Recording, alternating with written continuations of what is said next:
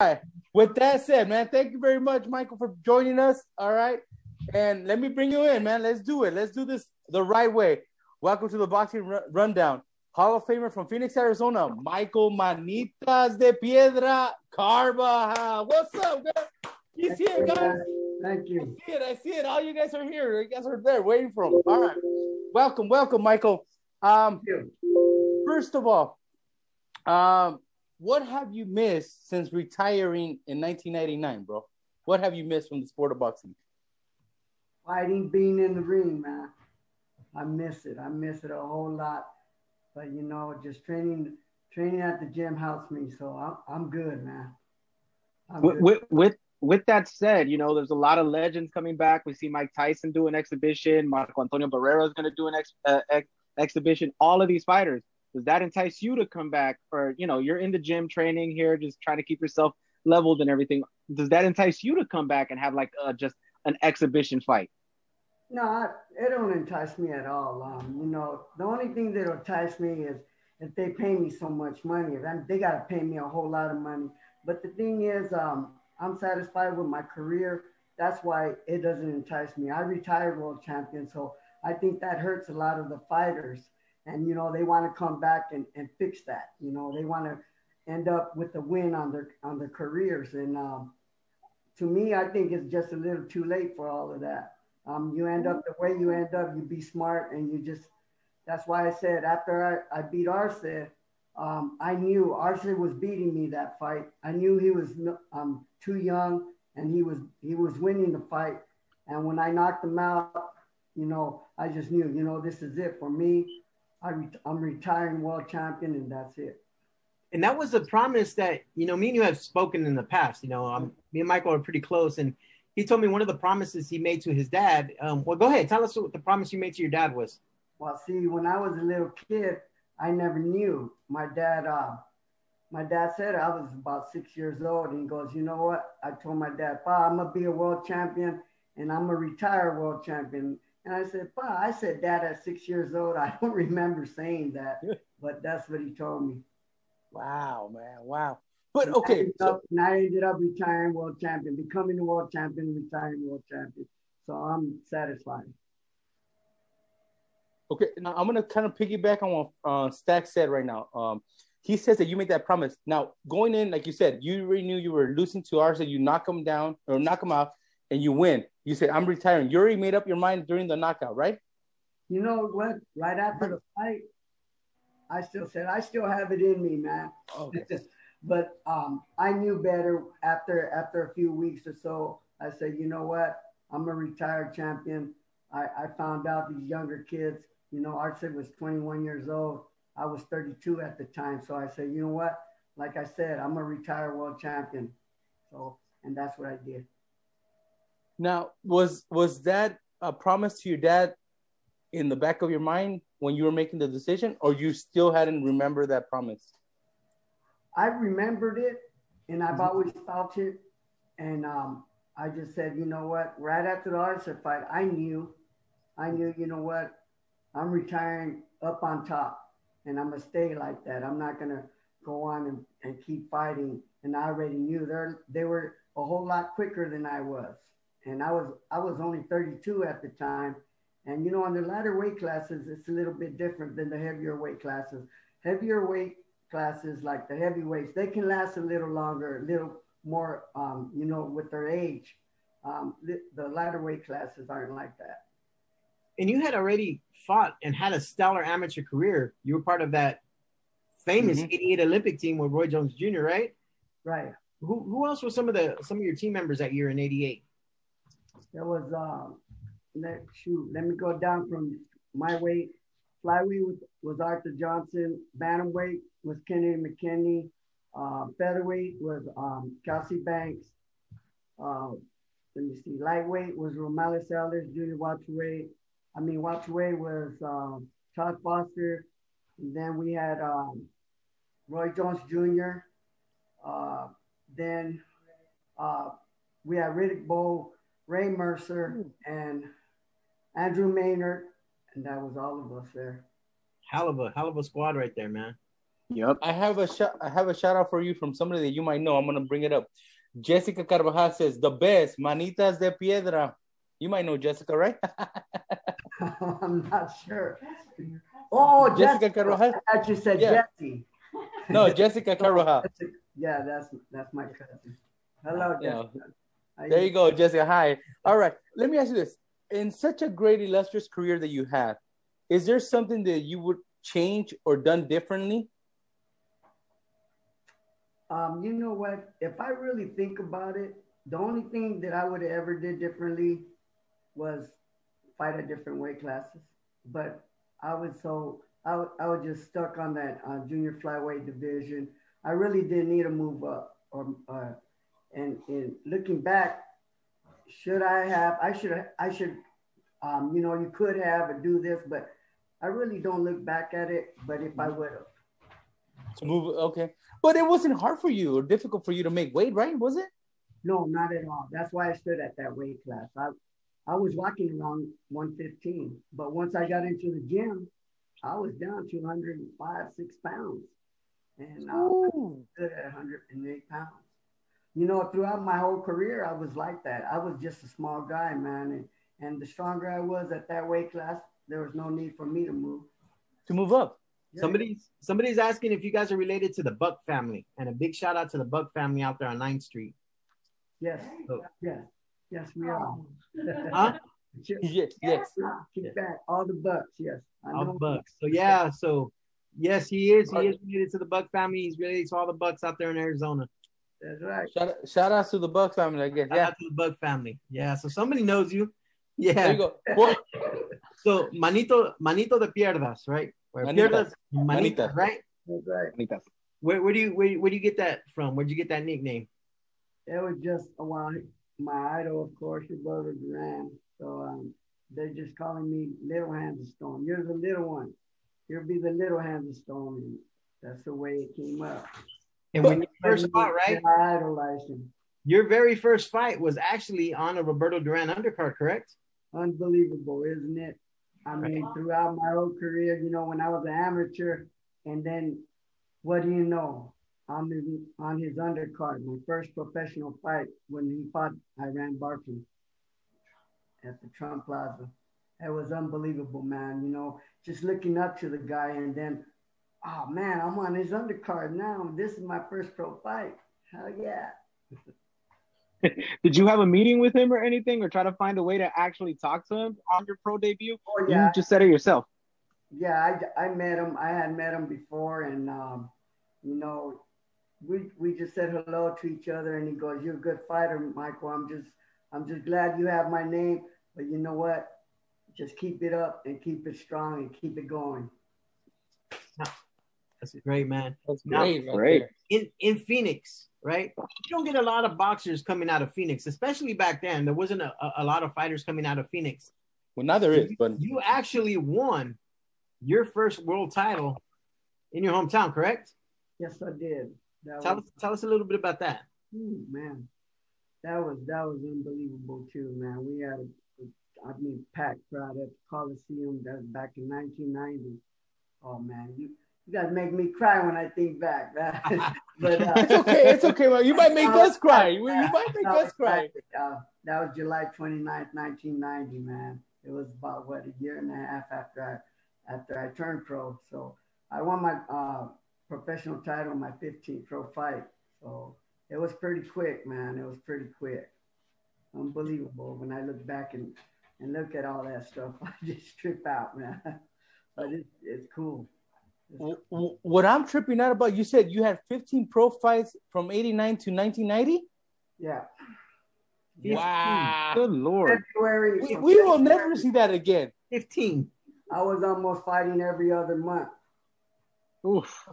Um, I loved it. I loved it.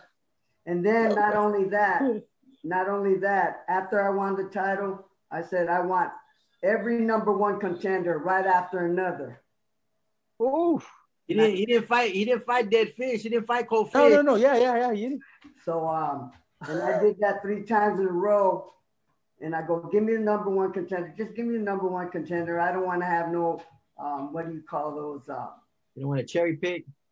No, no, no, no. When when no, when you're obligated, you have to fight them. I mandatory. Oh, mandatory. Mandatory. mandatory. And that's it.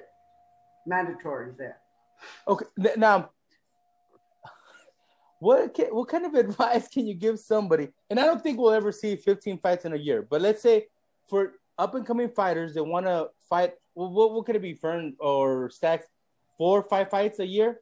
What can you advise them to do? Since you did 15 in a year, what can you advise them, Michael? You know what? Uh, at this time, I would say fight every every other month or so.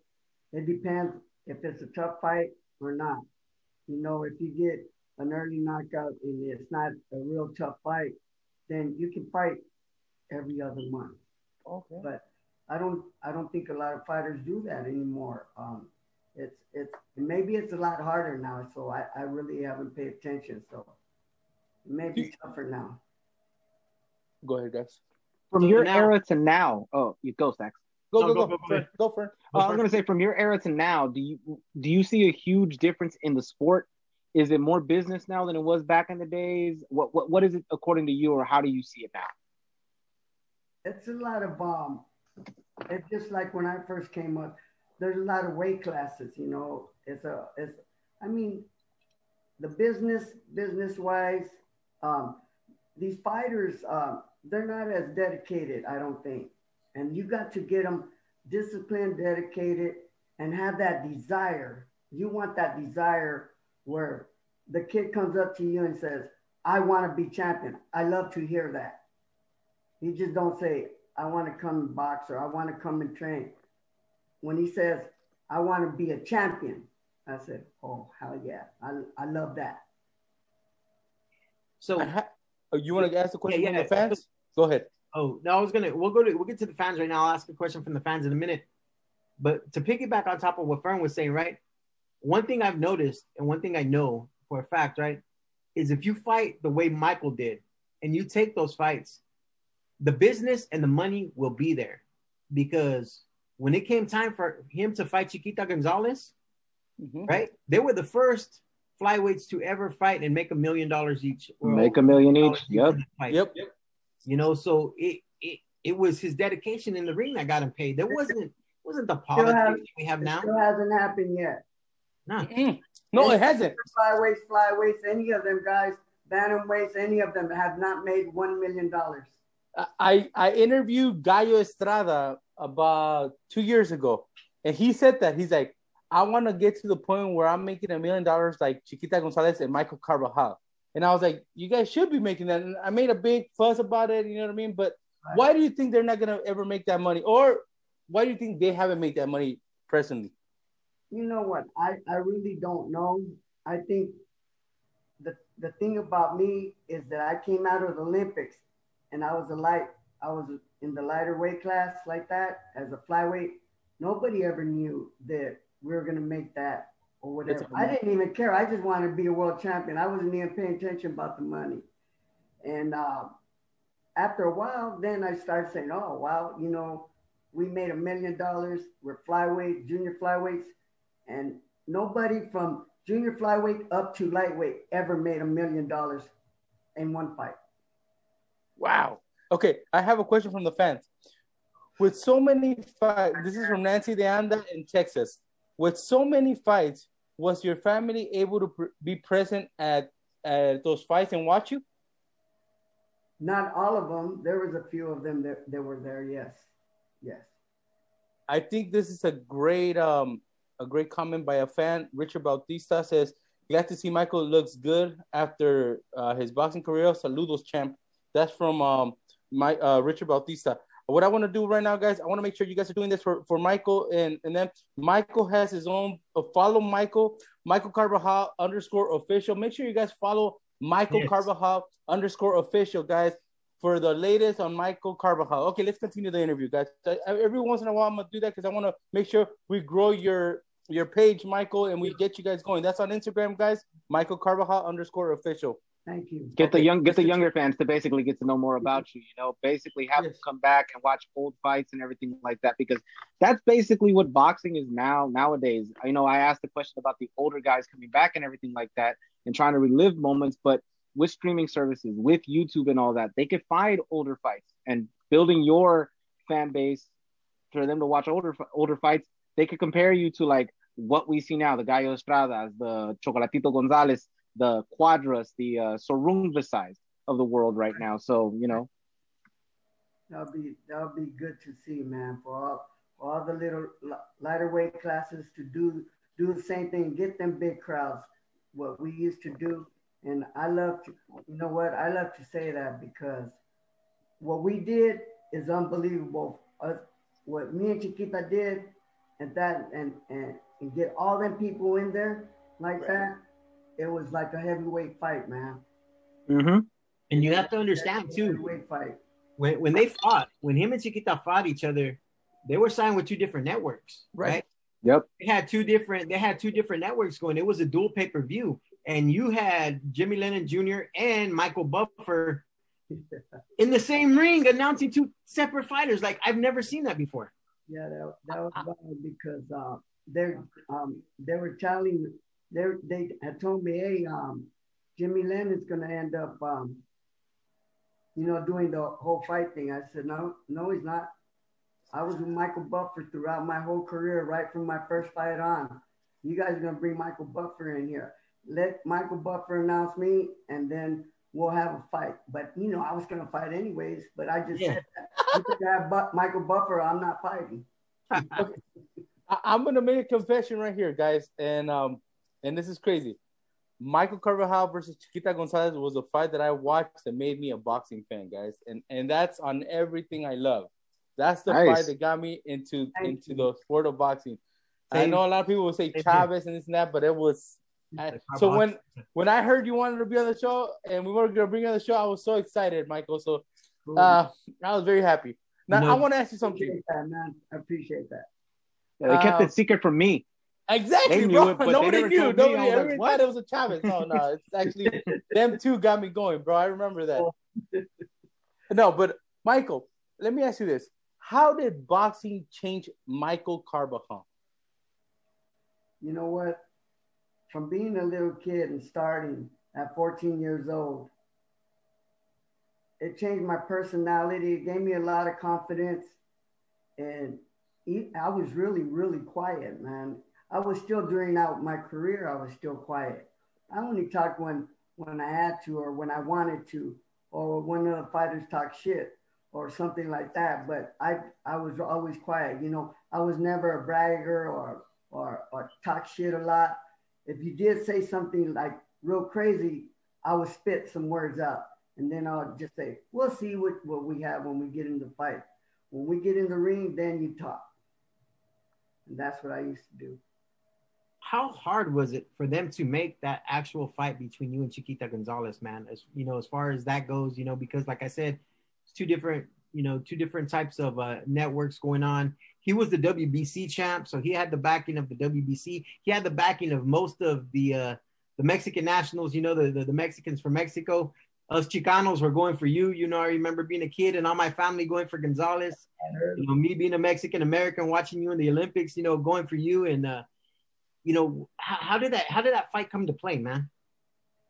It just came. Um, Chiquita, we were at the same weight class, man, and Chiquita was pulling everybody at the forum. You know, he was with Forum Boxing. I was with Top Rank, and you know they. Um, I guess Bob Arum and um, Jerry Buss got got along, so they say, look, we got these two guys, and I got Michael Carbajal, you got Chiquita somewhere around there, and let's let's get it on. I said, I want to fight. You know, Chiquita wants to fight, and that's how it that's how it came up.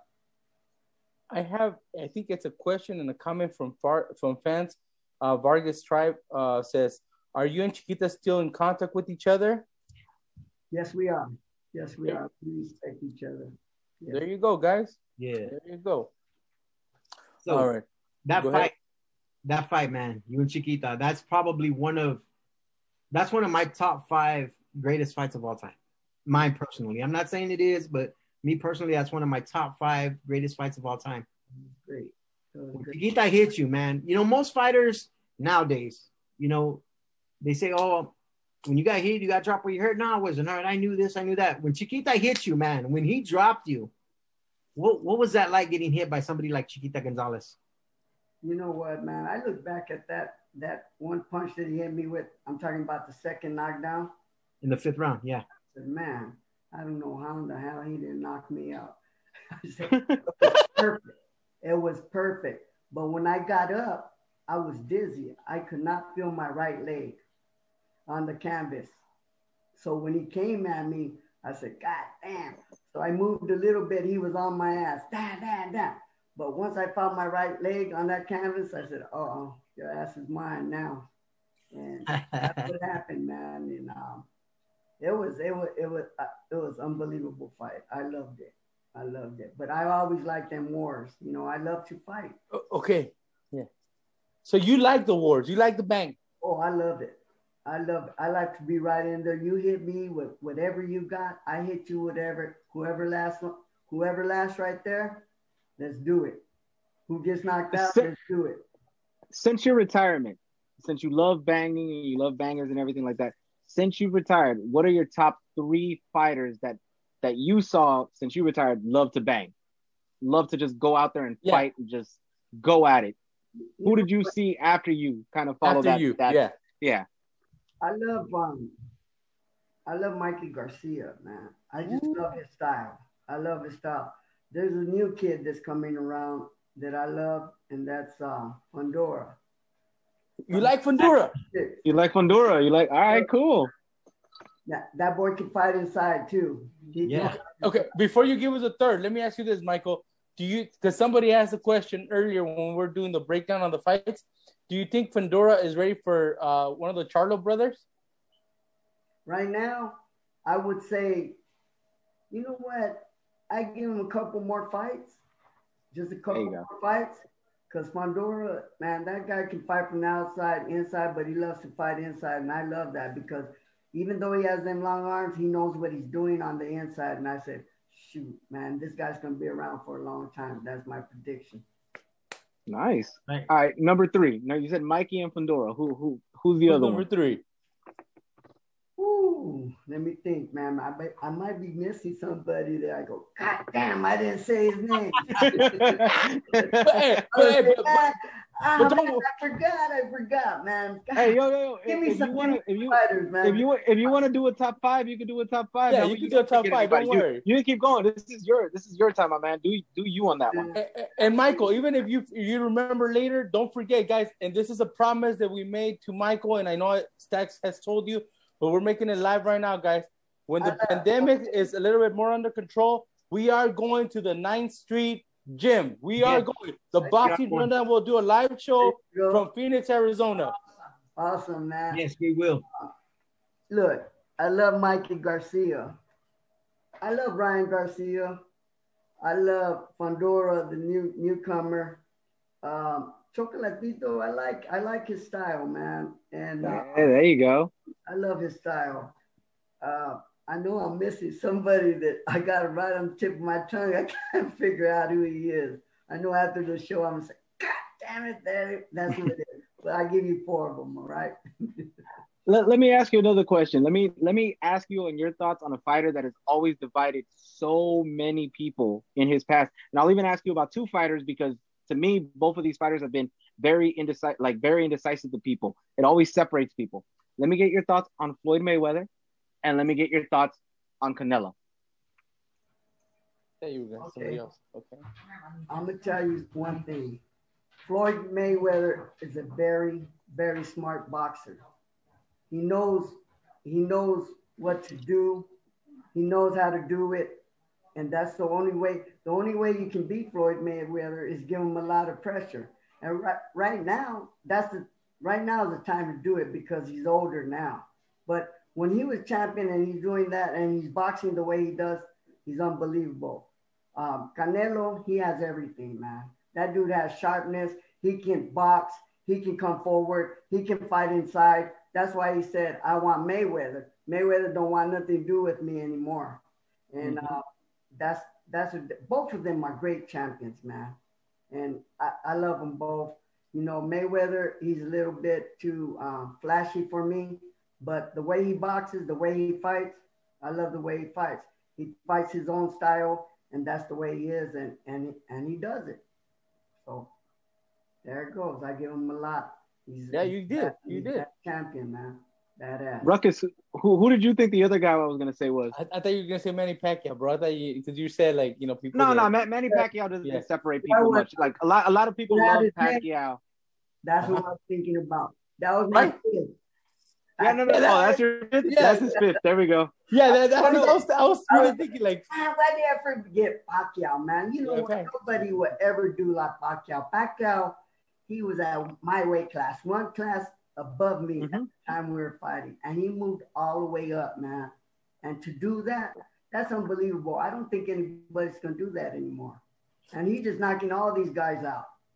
Let me ask mm-hmm. you this, Michael. How tall are you? Five five. Five, five. How tall is Manny, guys? Five six. Like five six, five seven. Ooh, he's so, not. He's not that much taller. So, like so that six, this is why, right? My, Michael's thinking about it. Like, he moved all the way up. Michael could have done all those divisions too, probably. ass, he's whipping ass, man. Man, you think that you... would? Okay, let me ask this one. You think Michael that will ever be done? Now I'm gonna tell you something. Now I'm gonna brag about myself. You know, go ahead. Uh, you know, all my sparring partners, they were lightweights and welterweights, and I was whipping their asses. Mm. any any any big name lightweights, welterweights that you were sparring with? Like real big names. They're not big, big names, not like that. But I'm yeah. saying they were all heavier than me. I was 106 pounds throughout my career, and I was fighting. I was sparring them guys. Them guys helped me out a lot. And the other guys were were from Mexico. You know, they were my side. So gotcha. I had three, four, five, six sparring partners and went many rounds. So it was, was, it w- was it hard to get sparring back in the days, uh, Michael? Is that why you were sparring those big guys? Not at all. It, it was not hard at all. Yeah. You, you know everything nowadays is fantasy fights. Like what would have happened if Mike Tyson would have fought Muhammad Ali or something like that. For you, you in your prime, and seeing somebody in their prime now, who would you say? You know what? my prime versus that person's prime, that would have been a fantasy match for you. Who would you say that would be it? Man, Ricardo Lopez. that would have been finito. Been a fight. Nice. That would have been a fight. Just by our styles, that would have been perfect. Perfect. That that would have been a okay. You already said it. Where would you have liked that fight to take place? That's why I went with Don King when I was fighting when I was fighting, I went with Don King because he promised me Ricardo Lopez, but um, it just never ended up happening. Is a reason I lost to Chiquita in Mexico City. Ricardo Lopez was on the same card. He defended his strawweight. Mm-hmm. That was the plan. I ended up losing decision, so it never happened. Oh, yeah, yeah, yeah. I was gonna say that. That that was it. Now, let's just let's play matchmaker since Fern threw it out there. How would that fight would have gone in your in your head? How do you think that fight would have played out between you and Ricardo? I think, well, you know, I'm going to say I would have knocked his ass out. But I'm not going to say but early, okay, but early or later? Just by, I say about around seven, eight rounds. Okay. The same, the same as Chiquita. But see, when I thought when I fought Chiquita, Chiquita used to throw real wide. But when he fought me, he was short and he was quicker, way quicker than I thought. Lopez is a real wide puncher too. If you see his hooks, they're really wide. And I said, man, I could get all under that. His punches are wider than me. I'm way, and we're the same height too. That would have been terrible. It would have been terrible for him. I like that. I like that. Go See, ahead, you at least you you at least attempted to make that fight because you lost. It didn't happen and everything like that. Now nowadays, we as boxing fans, boxing people that just watch the sport, we love the sport. We don't necessarily get the fights we want to see, like let's say uh, Crawford versus Spence, because we feel politics is involved. You being an older head and you being in the fight game, does it bother you nowadays that some fights don't get made that should get made? Of course. I mean, that's going to go on forever. I think it's been going on way back in boxing eras. You know, everybody wanted somebody to fight somebody. It just don't happen. It all depends on the managers and the promoters. That's who's really in charge, man. Unless you as the fighter, you say, nah, you, I'm gonna get that fight no matter what. Mm-hmm. Both fighters can do that. Both fighters can do that to the managers.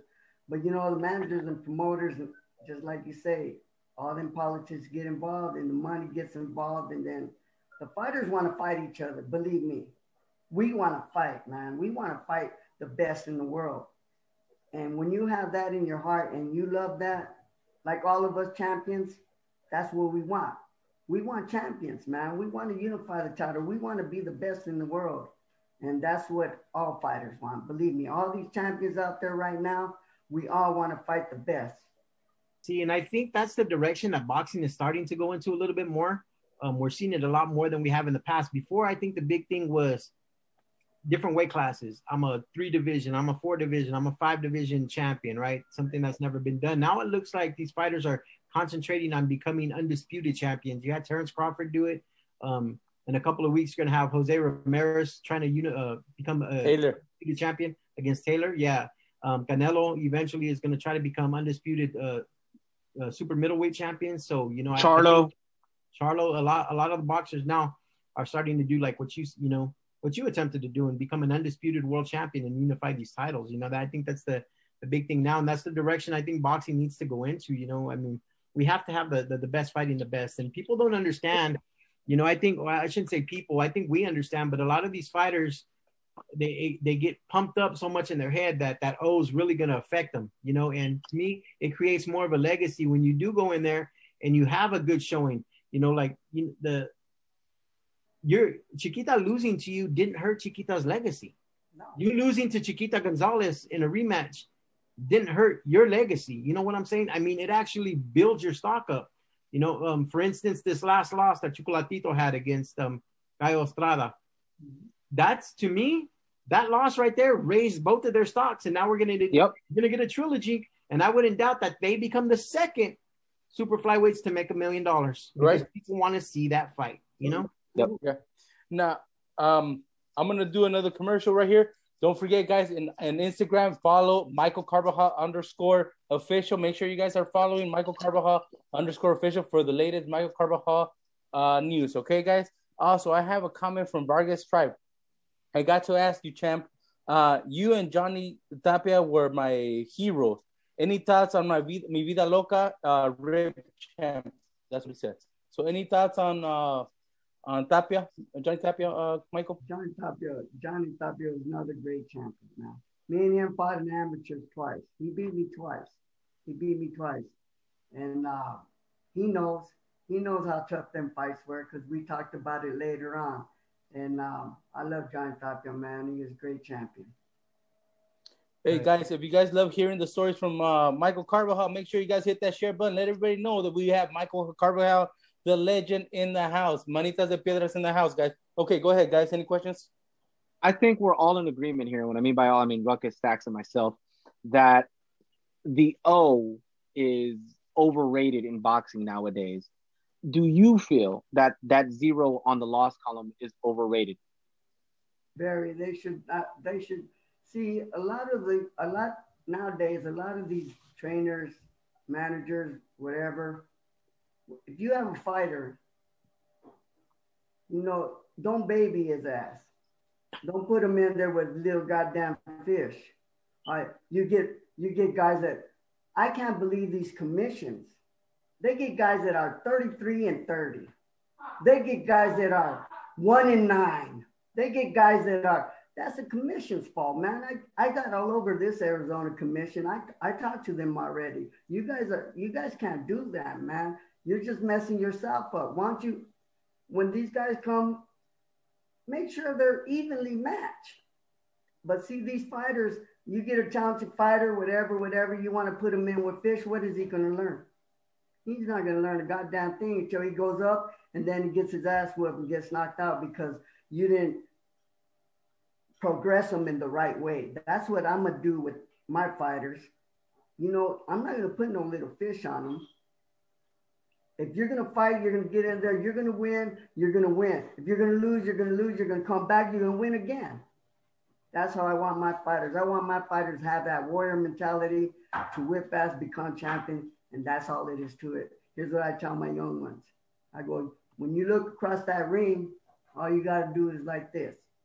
Your ass is mine, and that's it. You don't got to. Right. You don't got to. Your ass is mine, and that's it. Because that's what I do every fight. I say your ass is mine. That's it. Michael, so you're right. You're right in the in the barrio, man. You're right on 9th and Fillmore. How hard was it to to stay in boxing and not join the gangs right there in your neighborhood, man?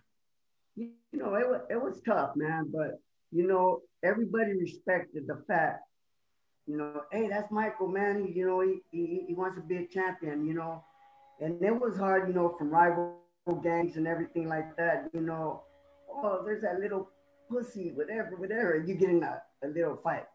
But other than that, man, you know, everybody was supporting me after, you know, the Olympics and all that, and you know, winning national championships. You know, I we we started getting along even with the rival gangs. You know, I was getting along with all of them. So it was pretty much like that at the beginning when they didn't like me or you know they knew I was from 9th Street or whatever, and it was hard. But later on, it, you know, everything's all right. He's from the hood, you know, he's from everywhere, you know, even though they all go, nah. So we had three different gangs in, in one neighborhood, man. You know, there was like Garfield, we were all four blocks from each other. Mm. It was crazy. The three gangs, th- three, four blocks from each other. And it, it was it was wild way back in the day. You're talking about Boulevard Night days. now let me ask you this: Boulevard Night movie. I'm talking about those days. When when you won your first world title, did they make a parade for you in Phoenix, Arizona? Now, when I, you know, when I came out of the Olympics, it was crazy. I mean, this whole neighborhood, the That's, airport, everything was okay. Crazy. So, and, and you're talking about the gangs. So, you know, in that little radius, all those gangs were right there supporting you, and they saw yeah, that everybody, you know, everybody hooked up. There was all the gangs from different neighborhoods, even from a mile away. Gangs, everybody was all together when I came back from the Olympics, man. It was unbelievable. Crazy. All the all the way from the airport to the house. And, and people lined up. It was think about wild. It. A positive outcome of that neighborhood created such positivity. You know what I mean? So sometimes I, I think this is what we need, guys. We need guys like Michael Carbajal in this neighborhood, man, because we need to stop the violence. You know, we need to see great guys come out of our, our areas do great things. You know, thank you, Michael, for doing such great things and being such a great role model. That's something that nobody could ever take that away from. You know what I mean? You know, they even uh they even built Chase Field right down the street from where he has his gym. You know, I mean, and of all areas, if you guys know Phoenix and people that are familiar with Phoenix, you know, you got Scottsdale, you have these parts that are as rich as Beverly Hills, you know, and they come to the barrio three, four blocks down from what Michael Carbajal's at and build Chase Field. Like seriously, like they really built around his neighborhood. You know, I mean, it's it's it's still barrio. Don't get me wrong, but I mean, he, he did a lot. He did a lot for that community. what's so funny about that, man? You know, this neighborhood has changed now. You know, because we're riding right downtown, and my father had always told me before he died, nothing against any kind of colored people or anything. This was nothing but Mexicans in this neighborhood for years. But when my dad was a kid, he said, don't get me wrong now, nothing but white people were here. I didn't mind, you know, I, I don't mind anybody. But check this out. So now he goes, Mijo, this is before he died. Mijo, you know the neighborhood's gonna change. I go, why? He goes, you know we're right downtown. Look how big the city's getting. All the gringos are gonna come back. And I go, what do you mean come back? Because when I grew up here, there was nothing but Mexicans. And uh, I go, what do you mean? He goes, well, when I was a younger kid, it was puro gringos, mijo. I said, oh, well, I didn't know that. And after that, what, 94 years later, now, now, now, this whole, this neighborhood is like, I mean, everybody wants to live here now because we're right downtown. That's why. Everybody wants to live right at this zip code, hottest zip code in the country. I mean, in Phoenix, wherever it is, Arizona, it's the hottest zip code, man. everybody just moving over. Condos everywhere. It's it's totally different, man. Crazy. Cut it out, Michael. You're making us want to move over there, man. Let's get some, let's get some questions from the fans. Okay, couple of questions. All right, we're gonna go with one here. When you hear the term Mexican style, Michael, what does that mean to you? Ooh, that's a good question. Mexican style is warrior. I mean, hmm. all, that's what everybody, you know, it's funny because you got a black warrior, you got a white warrior, you got an Indian warrior, you got all them warriors. But uh, by Mexican, Mexican boxing, that's their culture, man. That's pretty much their culture. And um, I read that on Chiquitas. I read that from Chiquita. Chiquita goes, you know, boxeo en México nomás no es boxeo, es en cultura. And that's, that's true, man. That's true. It's a culture. And we all can fight. We're all champions, man. And that's what I love. When I see everybody fighting and I see great fights, I say, hell yeah. I love to see that. And that's what boxing is all about. Is being a champion, being a good man at heart to everyone and, and just loving the sport and and loving to excite all the fans. And that's what I always wanted to do is just excite everybody. When I go get in that ring, I'm gonna make it exciting and that's it. And You're talking about I I tried every single fight, man. Talking about exciting fighters, man.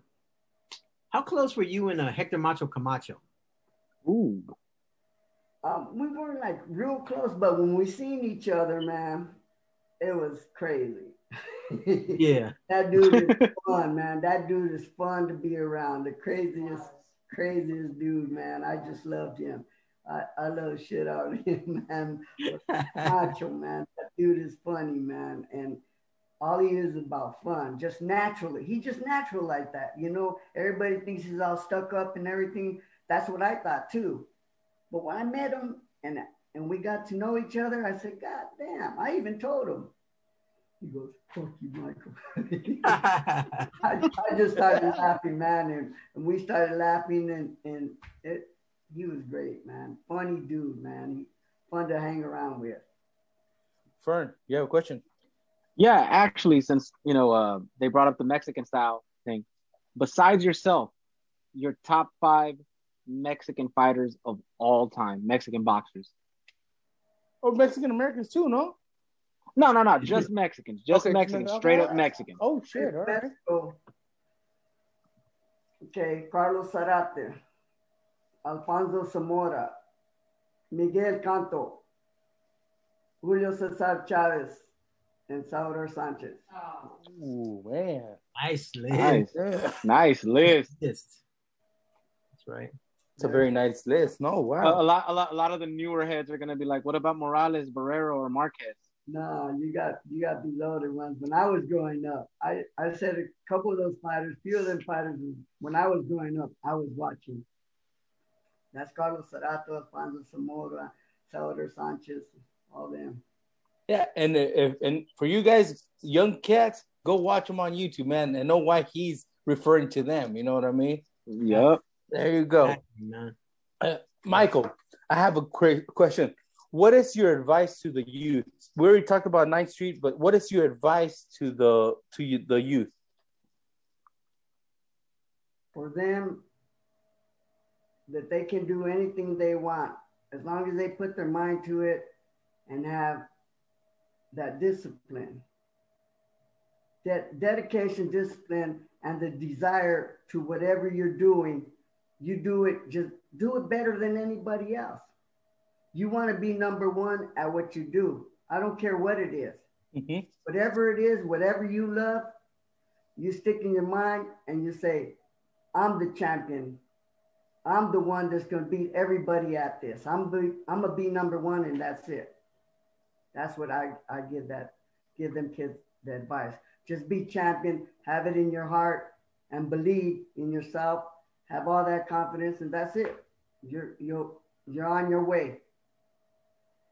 Now I'm gonna talk to Michael Carbajal, the gym trainer manager. Uh, talk to us about Ninth Street Gym now. I want to get to the 9th Street Gym. That's the new thing that we we you're going, you're currently doing right now. You know what I mean? So talk yeah. to us about the gym. Okay, the gym. The gym is not all about boxing or just all about the fighters. That's you know the fighters come to fight. There's other people that go in the gym that don't even they don't want to box. They just want to train, mm-hmm. and we love that. You know, we want to make champions in life, and that's what we do. Whoever comes in there, whoever comes in there, no matter what age. I had a 72 year old in there.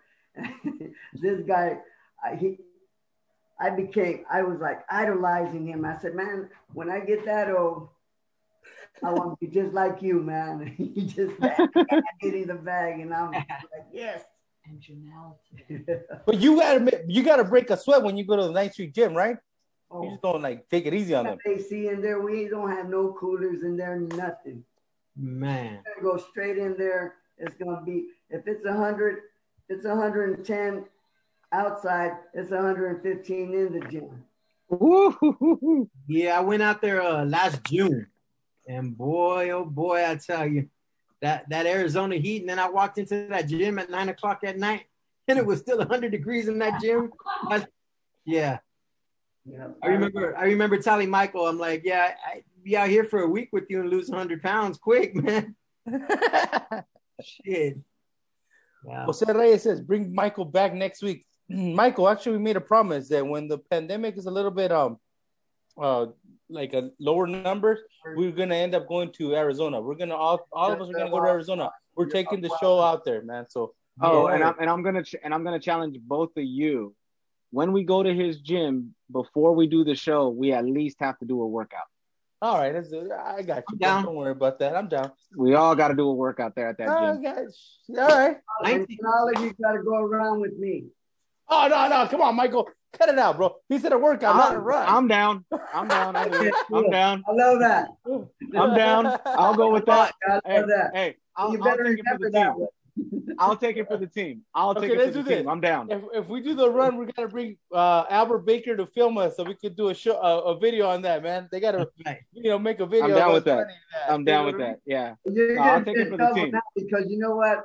I'm getting in shape training all these kids, so you're gonna really be in trouble. I'm oh. in, in, in, 1993, man, 1993, all the way back then. Oh man, he's, trying, he's trying to scare me. Number one, you the Ring Magazine, and the number one pound for pound fighter in the world. How did it feel when you got that title, man, to be the number one pound for pound fighter in the world? At the time, man, I was just fighting. I loved it. And that's, you know, when they said pound for pound in the world, I really didn't pay attention at that time because I was so concentrating on just whipping everybody's ass. Now that I look back at it, you're talking about pound for pound number one in the world. Yeah. You're talking about everybody. At that time in 93, you know who was all up on the top? Mike Tyson, Pernell Whitaker, um, Trinidad, all, all them guys. I don't know if Trinidad was there, but it was another Puerto Rican or one of the fighters. There was a bunch of us out there. Riddick Bowe, Vander Holyfield, all of us, and they they got me as the number one. I look back at it. At the time, I really didn't think too much of it. I just, hey, I got to fight.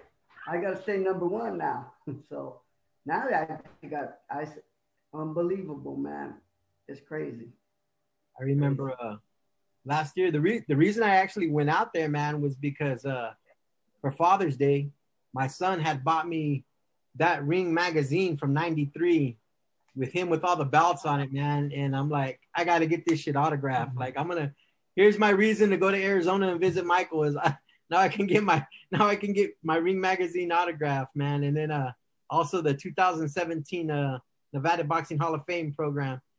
I had one left to get, and that was uh that was Michael's. And uh yeah, it was a it was a trip, man, because Michael he's always been my favorite fighter.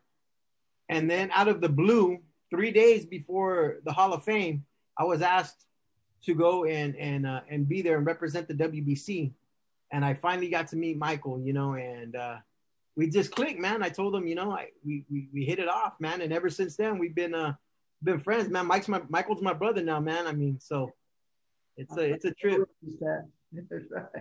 and, and, I think uh Stacks Anthony right here because he got the he got us the interview with you, Michael, and, and it's a pleasure to have you here on the show. Like I said, I mean, all the fans really are are just speaking volume of you. You know what I mean in, in the comment section. So I mean, uh, thank you first of all, uh, Michael, for being here on the show. I do have a few more questions that I wanted to ask you, and and one is, what pushed you, Michael, to do to get to that level, to the great level? What was your motivation during all those, I guess, tough nights and tough mornings? You know what I mean? What what pushed you? It's the desire, man. The desire to be world champion. And you know, when I think about it too, when I was saying that when I was a younger kid, I've always believed it. Even though when I look back, I say, you know, I was, you know, still playing around and doing this and that. And um, as soon as I got real serious and it, it just started coming up more and more, mm-hmm. and I say, damn, I'm gonna go to Olympics. I, you know, this is time to go to Olympics. I never, as a kid, I never thought about the Olympics at all. I was thinking about professional champion, professional boxing champion. That's what I was looking at. And I, and I was doing good in the amateurs. I never even thought about the Olympics till I got there. Just about maybe in 83, mm-hmm. when I, I went to the Nationals for the first time, man. And, um, you know, they were talking about the 84 games. Everybody, if you win the Nationals, you're going to have, you know, a lot, a big chance to go to 84 games. But I really never thought about it. I, I was just happy to make and go to the nationals for the first time and make it to quarterfinals. So now I'm getting ranked in top 10. I was happy about that. I didn't care about what they were talking about. Everybody's talking about Olympics in 84 and all that. So it was crazy. So how was your okay? Now that you threw that out there, when they told you you were going to 84, you were going to the Olympics. No. So what did you feel? No, that was the 88. That oh no. In okay. 84, oh. they were talking okay. about that, but in 88, yeah, what?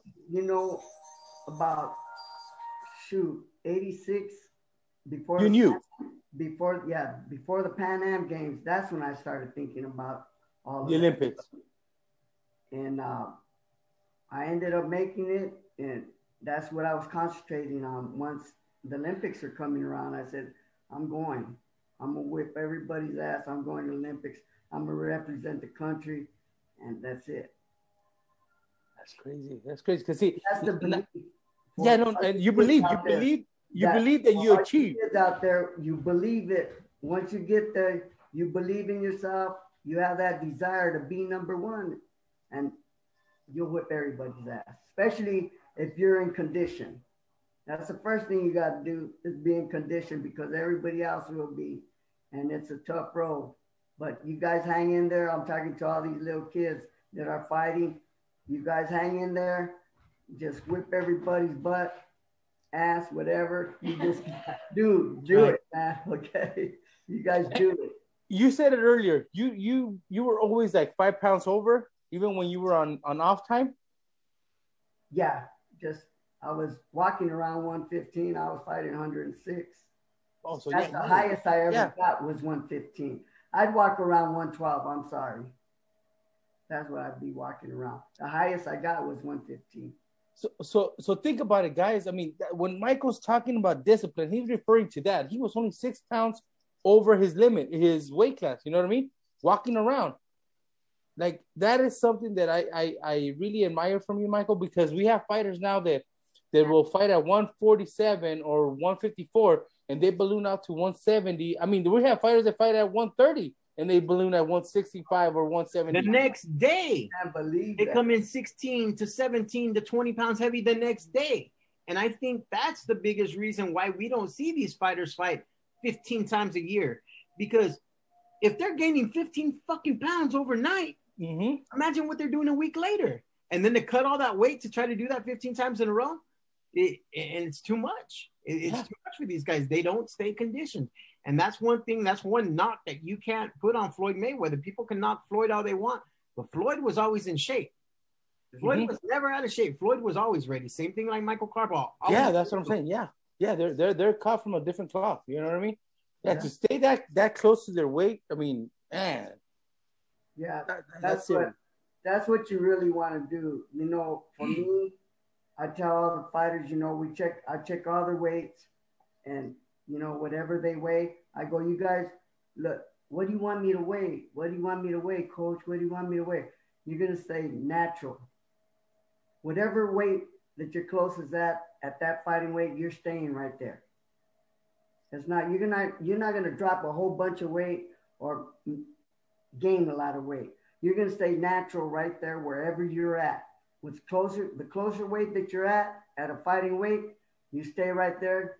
You'll be strong as hell, and then you knock everybody's ass out. I, I, and I appreciate that, Michael, because there's trainers that will say, you know what, for your height, you you you belong in this division. You know what I mean? Even though the kid's probably like 20 pounds over, you know what I mean? And they try to force him to get down those 20 pounds. You you, you made the clear example. If you're at that weight, stay at that weight. And I've always said that. Why is it the fighters don't stay at the weight that they're usually walking around? Or like you said, five pounds, six pounds over, you could drop that in the training camp. But why not do that instead of dropping, like you said, 20 pounds, 30 pounds? You know what I mean? Yeah. That's a discipline, man. That's discipline, guys. Come on, man. Come on. All right, Michael. You're at, whatever mm-hmm. height you're at, whatever that fighting weight is, stay close to it. And that's what you want to walk around with. Or just stay naturally so you can be strong, man. You want to be a strong so you can be knocking people out. You want to be in condition. And that conditioning is everything. Everything. Conditioning is everything you if you know you can go the 12 rounds, whatever rounds you got to go, and you feel and you're in condition and you have that confidence, nobody can whip you. No one. I don't care what it is. That that's the way I felt. Every time I stepped in that ring, I said, Your ass is mine. And if it didn't happen, it didn't. I lost four of them. Two to Chiquita, one to Matlala, and the other one to Pastrana. And um, it didn't happen that night. But it happened all the other nights. That's right. Bobby, Bobby out of all the fighters, out of all the fighters that you fought, you know, we had a question from the fan earlier. What what fighter hit the hardest, man? What what puncher what, what fighter punched you the hardest? You know what? Like I told you before, Stacks, everybody can say Chiquita because he knocked me down twice and he had me hurt, wobbly, everything. But you know who hit the hardest was Kittikasem from Kittikasem. When That's the first won the world title, title, yeah. That dude was hitting me with the jab. I thought it was a right hand. I go, God, he's catching me with the right hand all the time. They go, Michael, that's not a right hand. That's his jab. I said, well, I got to get his ass out of here then. I said, what, a jab? I got to get his ass out of here. And that dude hit hard. With every, every punch, he hit hard. It that fights that fight's on YouTube, man. So you guys that are tuned in, you guys are watching, man. After this, man, watch that Kittikasem fight against Carbajal. Watch that Chiquita Gonzalez first that. fight, you know, with yeah. Carbajal. There, there's some great fights, man. Carbajal was in some wars. You know, yeah. Mike, his very last fight against Jorge Arce, losing the whole fight to end the fight with the knockout and beat Arce, top ranks, number one prospect at the time, coming up. They're using Michael as a stepping stone, you know, basically here, let's hand the reins over to, to Jorge Arce in Tijuana, Mexico. Wow. I think it was at a, it was at a, uh, the Toro Stadium, right, where they fought the Bulls, right? Right. And went in there and, and, and beat them. Yeah, beat them. That was uh, it's another great fight. And that was all right, guys. Another commercial. That's what Wait, you uh, remember. Oh, go ahead. Go ahead, Michael. Say it. Go ahead. No, I said you're always going to remember your last fight. Always. You're always oh. going to remember your last fight. That's why all these guys that are my age or older that are coming back, they remember the last fight. And I bet you most of them lost that last fight. You know, and that, that brings up something else his commercial and you know and, and, and talk about your your your IG account and everything. But that brings up one thing, you know, that we've noticed that I've noticed and a lot of fans have noticed is that you still have all your wits about you you're pretty level headed. You're pretty clear. You know, you have people, you know, um, and God rest his soul. You know, people like Bobby Chacon. You know, you got you got boxers that they get to a certain age. You know, um, Bam Bam Rios. You know, you get you get they get to a certain part of their career, and you can tell that that pugilistic dementia starting to set in. You know that they got hit too many times and they they were in a lot of wars.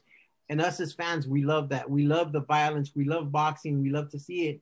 But at the end of the day, it's a brutal sport, you know, and it's uh, it's good to see that you actually still have a lot of your, you know, you, your your your sound, mind, body, and soul. Thank God, thank God, man. He blessed me with that, and um, that's that's um, unbelievable, man. And I thank God for that, and just hey, you know, I, the first time I ever went to the Hall of Fame, and I I seen all the boxers, that gave me a lot of inspiration, and to see the the fighters that were like that, and you know that had trouble with that, you know, being punch drunk and all that, it was very sad. So that helped me out a lot because I went, I went first time I ever went to the Hall of Fame was way back before I even um before I I was barely coming up. So I'm meeting all these champions, man, and I'm all excited, you know, looking up to all these champions that are older than me. So, you know, it, it gave me a lot of determination and it helped me out a lot. Okay, that's it. Okay, and one one more question, and then I'm gonna ask you another question the fans asked, which is gonna lead us off to the next segment of the show. Okay, but one question is, out of your four losses, which one would you want to do again? If you had a magic wand and say, you know what, I will do this different, and I want to fight that person different and, and, and get them. Um, both the uh, Matlala and Pastrana. you would. those, those two fights, I would love to fight them again. But you know what? They beat me that night. It was their night. It was their night. Out of them, and may um, Matlala rest in peace. And with the great victory he had a, a, a, over me, I love that that he went like that, and um, I love that man. Um, hey, you know, that's the way it is, brother. That's Exactly. See, guys, I mean, even if I, I told Michael, I'll give the magic wand, like he said, you know, that was their night. You know what I mean? And, and and that goes from a great legend, a great fighter, a great warrior. You know what I mean? That all doesn't matter, guys. And like we said, like we always say in the show, the fans want to see great fights. The old don't matter, guys. The old does not establish a career. Michael Carbajal had a great career. I mean, he's doing great out out of the you know square circle. So Man, congratulations, Michael. This is the question that's gonna follow us up to the next segment, which is what do you think about Canelo versus Billy Joe Saunders, which is coming this weekend? Your thoughts. They want to hear from the legend, they don't want to hear from us. I say, I say um, if I say Canelo all the way, just by the styles. I was watching um, Billy Joe Saunders, and I think he has a, a a little bit of difficult difficult style for right. Canelo. But I believe Canelo's so sharp because uh, Billy Joe, he likes to keep his hands down a lot. You know, he likes to move like that. You know, the only thing that's going to give Canelo problems, if he gives him problems, is just the stance of being left-handed. That's it. But I don't think it'll last more than four to six rounds. Canelo. Oh, wow. Whoa, whoa, whoa! You didn't have to give the prediction, Michael. Oh, now you give the prediction already. All right, that's good. All right, all right. Uh, sorry, man. Talking about no, no, we're gonna, we're gonna, we're gonna get predictions. We're gonna get predictions. talking about fighting. That just, I, I don't know if it's be right, but you know, I'm, I'm on Canelo side. Just Canelo. style and Saunders style. If Saunders, he can, if that boy can um take a shot, he'll give Canelo a harder time. If he could take the shot. If but, he can take a shot. Yeah, but we've seen what, what Canelo has done to all the British fighters, man. So that's gonna be a tough a tough quest for Billy Joe Saunders. He better have that power. To, I mean, with withheld that power, you know. He better have all that. have all of it, because all of it. Canelo's a bad dude, man. He's a bad, bad dude. Okay, uh, Michael or somebody. Uh, do you guys have a the Ninth Street Gyms uh, page or something, or or where people could go follow? On Facebook, Michael Carbajal. You you said that you okay. You gave them so just through Michael Carbajal. Okay, so don't forget, guys. If you guys want to be part of the Ninth Street Gym, make sure you guys go to Michael Carbajal underscore official on Instagram, guys. Stay uh, stay posted. Do they you have openings right now, Michael, for Michael the gym? Carbajal Ninth Street Gym. Oh, Michael Carbajal at 9th Street Gym too, guys. Don't forget Michael Carbajal at 9th Street Gym. And Uh, know where you're training there. You're training in a historical landmark, man. That's a historical landmark now. That that gym is, it's it's It was just Something a special. church. Hey, I was a little kid when I was running and making trouble in that church. Woo! I was running in and out of that church, teasing them all, running in and out. I want to get chased. it's a trip, man. Trip. Uh, do you want to give out any uh, shout outs or anybody? You want to say hi to anybody, Michael, before we head to the next segment? Um, thank you for uh, supporting to all my fans out there, man. Thank you for supporting me and still being there.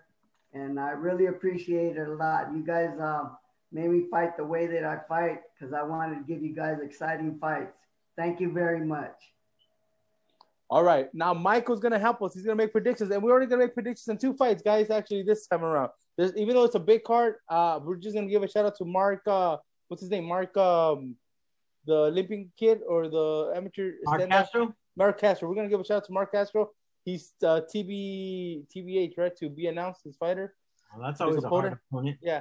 So Marc TBV? Castro, yeah, TV, yeah. Big shout out to Marc Castro. But here we go. Let's get going. Saturday from Arlington, Texas. Uh, help us out, uh, Michael.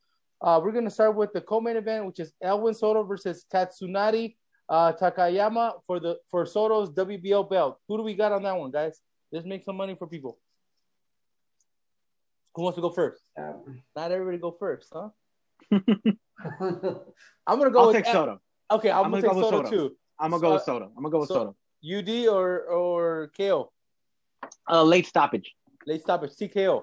I'm I'm with Fern. Late late stoppage, TKO. Uh, Michael, let's go, Michael. Michael, what do you got on that one? I'm going with you guys. Late stoppage, If you- TKO. I'm be Dax. the lone wolf on this, man. I got Takayama late round stoppage.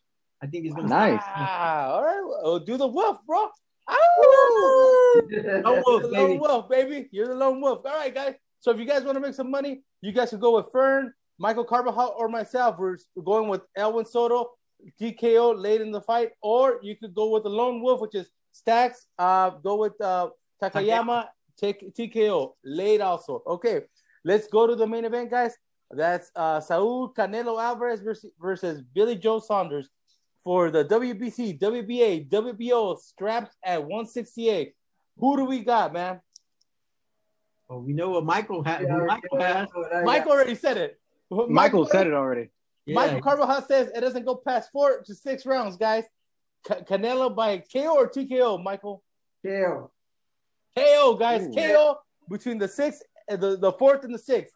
All right, who's next, guys? There you go. Michael gave his. Go ahead, Fern. All right, I'm gonna say that this actually goes to a 12 rounder. Goes to a decision. I say Canelo wins it. I feel You do? I, you know, I, I no, yeah, UD. I still haven't seen Canelo fight someone since Lara that can move, and we know Billy Joe Saunders can move. And Canelo's been fighting the guys that are just there, standing with him, going like pretty much almost toe to toe, very like not moving fighters. This is a movement type fighter. Billy Joe Saunders can move, so I think he does trouble Canelo through some of the through some of the fight. But I feel that his firepower is just going to be too much for uh Billy Joe. He's going to catch him enough to win rounds and everything. He's just not going to catch him enough to be able to knock him out. So I'm going to say Canelo wins UD 12 rounds. Facts. I say uh, Canelo, ninth round TKO. TKO. I think they stopped You might. the fight. I think they stopped Pick the the fight. right number too. Ooh. Oh, 9th Street Gym. all right, all right. Oh man, dude, that's a good one. Okay, here we go. Oh, somebody said Canelo also for ninth round. Okay, Yeah. Jorge Pimentel. Your Jorge Pimentel is, is that your relative, Fern? That's my brother. all right. So Jorge says ninth round, uh, ninth round, bro. Okay, I'm gonna go with the eighth round, the famous eighth round, and I'm gonna go by TKO. Uh, Canelo gets it, man. I say Canelo gets it. Uh, and we're gonna set up that fight. I guess uh, Caleb Plant is not that hurt. Uh, his hand's pretty good now, so he's already planning to go in September with Canelo. So I Yeah. think we get the Canelo Caleb Plant in September. I think Canelo's gonna do a show, a good showing, and he's gonna give us either a TKO in the eighth, um, a stoppage in the ninth, or he's gonna get KO from the fourth to the sixth, or maybe a decision with Fern. So there you go, guys. Everybody has Canelo winning on this one. There's no way that uh, we, we're picking against him right now. Everybody's going with him. So there's no Billy Joe Saunders pick from the boxing rundown, guys. Nice. Once again, guys, uh, don't forget follow Michael Carbajal underscore official on Instagram. Michael Carbajal 9th Street, right? Jim. All Side Street Gym. Michael Carval's 9th Street Gym. Yeah. Michael Carbajal Nice. 9th Street Gym on Facebook or where? Facebook.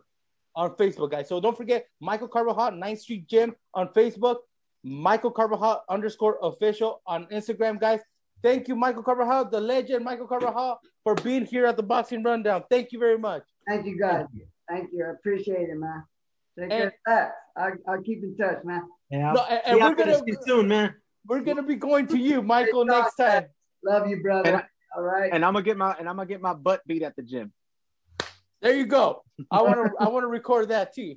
That's right. All right, guys. Thank you very much. Have a great night, everybody. Enjoy your families. All Thank right, you. guy. All right, Michael. Thank We- you, man. All right, so we're we're so we're not gonna continue on that other thing. Oh, okay. Well, what do you want to say about that, bro? I thought we were done. Well, no, I just basically wanted to continue speaking and get more on your thoughts on the entire situation because I just, uh, I just think he screwed up. I think he screwed up, bro, and he's gonna end up going to jail for life. Yeah, that's a bad situation, and it's in the court's hands now. And I think he's he's done, man. He's fried. Mhm. all right. That's sad, man. That's sad. Yo, What do you think about that, Verdejo? I mean, what do you think about Michael about Verdejo? Man, that that he just messed everything up, you know. I I you know, I don't even really want to comment on it. And and Yeah, don't if you don't want to. Don't. Yeah. Don't. If you don't want, don't. Yeah. If you don't want to, you don't need to, and anything like that. Just you know, that- that- earlier I made my opinion just known. sad. He's just sad. and, and, and I think. I, I think we all agree with you, Fern. And I think, like I said, man, he's a fried man, man. That's it, man. Hopefully, you know, Yeah. the family So gets prayers for prayers for that girl's family. for the girl's family. You know, at least at least they have the the body. You know, and not to sound like that, but at least they have some peace and closure now that she's not missing. You know, they. You know, it, it's got to be hard. So you know, just my my condolences, prayers to the family, and, and to Verdejo's family as well, because you know it's another it's it's, it's another family that's going to have to deal with another loss of a family member once he's gone. Because I, I think uh, Fern was right. He goes to prison out there in Puerto Rico. That street justice is going to take over. Yeah, So just a bad right. situation, and again, Yeah. just solace to that family because it's Yeah. just too much, too much. All right, guys. Uh, don't forget, we had Michael Carbajal, the legend, guys. Thank you guys very much. See y'all next week for the Boxing Rundown. Oh, I'm your host, Boxing Ruckus. all right, man. peace.